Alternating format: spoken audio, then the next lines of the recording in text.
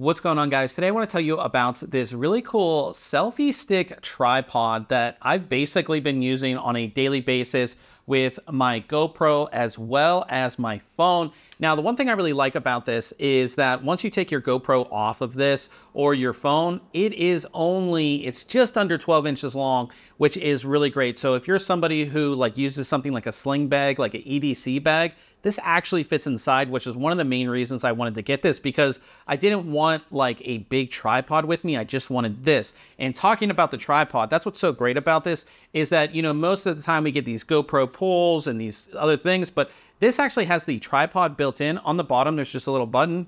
You hit it, and now you have a tripod, which is really, really awesome. So many times I'm out with friends, and we want to get like that group photo, and you don't have somebody around or something like that.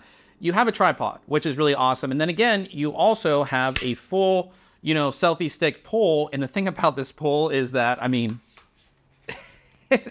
it's extremely long, 52.1 inches total that you can get this thing to go up. It goes in just as easily. It uses the, you know, typical GoPro mounts here um, for GoPros or other action cameras. Of course, you can put other things on here as well.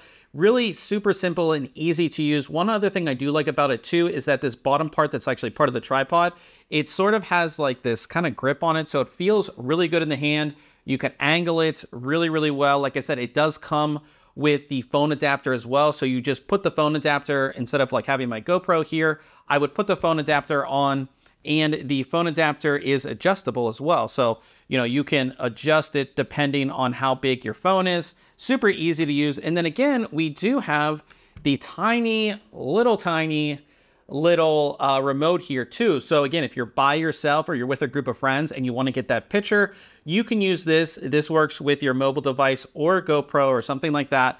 And you can use it to control it, which is even, you know, really, really awesome as well. I really like this.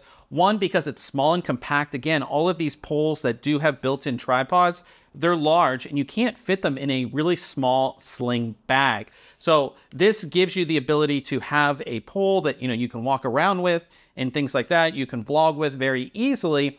But for those like steady shots or group shots, you have a full tripod so you could set this up and get the shot that you want. I really like this. It's really well made. So if you are looking for a selfie stick, tripod, either for an action camera or, you know, your phone, this is something that I would definitely recommend.